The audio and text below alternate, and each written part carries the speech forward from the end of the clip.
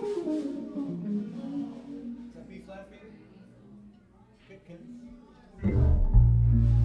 just making sure this guitar is guitars into it.